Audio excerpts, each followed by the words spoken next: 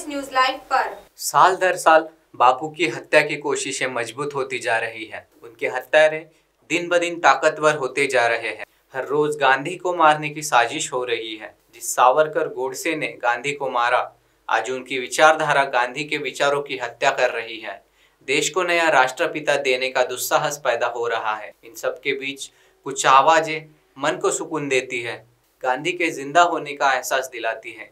याद रखिए, जब तक गांधी ज़िंदा है, तब तक हम आप ज़िंदा है। गांधी खत्म तो समझो आप भी खत्म। तो इस गांधी नाम के विचार की लौ को जलाए रखना हमारी ज़िम्मेदारी है। इस बच्चे का एक एक शब्द आपकी मरती इंसानियत के लिए चुनौती है।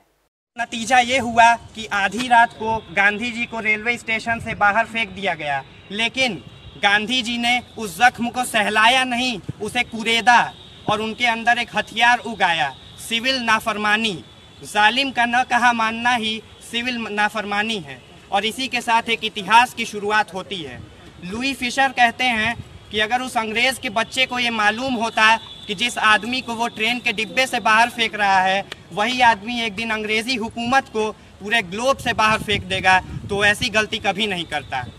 बड़ी अजीब विडंबना है कि गांधी के देश के लोगों ने ही गांधी को सबसे कम पढ़ा व समझा। हैरी पॉटर और चेतन भगत को दिन रात भोर दोपहरी एक करके पढ़ने वाली युवा पीढ़ी अगर गांधी जी को तबीयत से पढ़ दी होती तो आज पीढ़ियों का सबक शायद कुछ और होता। लेकिन हमने ऐसा नहीं किया, और यही कारण है कि आज तमाम फैंसी और फेसबुकिया ज्ञान हमारे पास हो गए हैं। जैसे बंटवारे का शाश्वत कारण गांधी जी को मानना, और गांधी जी को मुस्लिम परस्त कह देना। तो मैं ये कह देना चाहता हूँ कि गांधी से बड़ा कोई हिंदू नहीं था। लेकिन गांधी के हे राम से बाकी कौमें डरती नहीं थीं, क्योंकि गांधी भारत में धर्मनिरपेक्षता के प्रतीक थे। आज के समय में अहिंसा को कायरता और कमज़ोरी का प्रतीक समझा जाता है। लेकिन लोग ये भूल जाते हैं कि विश्व की सबसे बड़ी सेना से आप हथियार से लड़ाई नहीं कर सकते। उसके लिए आपको एक ऐसा हथियार चुनना होगा जिसका मुकाबला वो न कर सकें, और वो हथियार है अहिंसा। गांधी जी का कहना था कि आँख के बदले आँख फोड़ने से तो पूरी दुनिया ही अंधी हो जाएगी। उनको उनका ये भी मानना था कि ऐसी पढ़ाई जो आपके हुनर को बढ़ावा न दे, वो बदतमीज़ी की पढ़ाई है।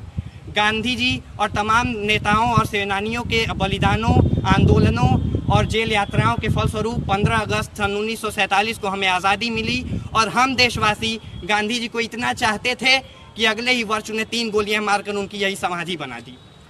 लेकिन गांधी कभी मरते नहीं हैं, क्योंकि गांधी एक विचार का नाम है। गांधी एक व्यक्ति का नाम नहीं है और विचार सदैव जीवित रहता है।